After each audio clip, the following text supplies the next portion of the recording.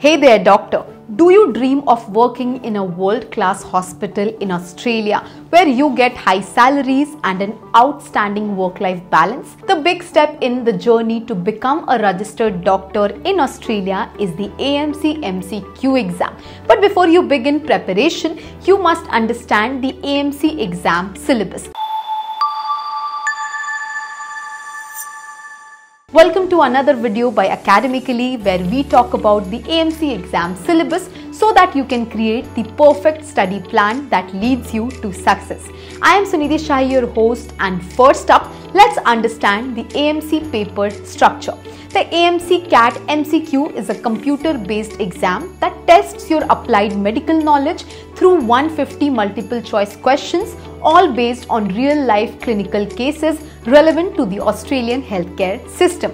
Here is how the exam is structured. The questions are drawn from six core subjects and each has a specific weightage. Let's break it down. Adult health medicine 30%, adult health surgery 20%, women's health OB and gyna 12.5%, child health 12.5%, mental health again 12.5% and population health and ethics again 12.5%. As you can see, half the exam focuses on adult health, so prioritizing internal medicine and surgery in your study is the key.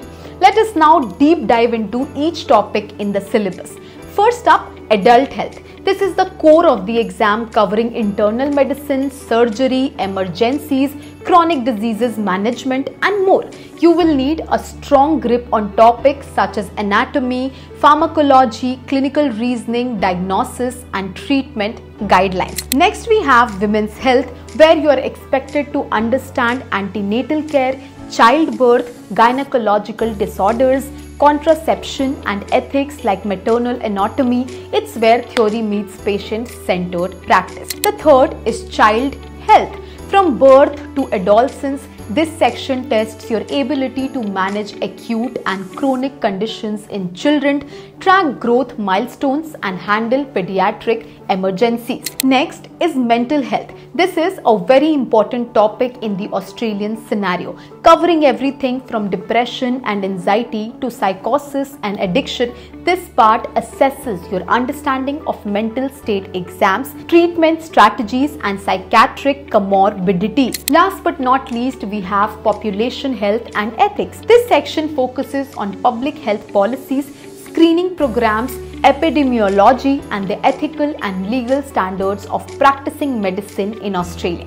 This is also an important section as the Australian authorities pap a lot of emphasis on ethics and the cultural aspect. You will need to know how to practice ethically, respect confidentiality and navigate the Australian healthcare system responsibly. So that's majorly it about the AMC MCQ exam syllabus. If you need more details about the AMC exam syllabus, you can get in touch with our experts at Academically. Our AMC preparation course helps you prepare for the AMC exam. With us, you can crack the AMC exam in your very first attempt, just like many doctors did. Visit the link in the description to learn more about the AMC preparation course by Academically.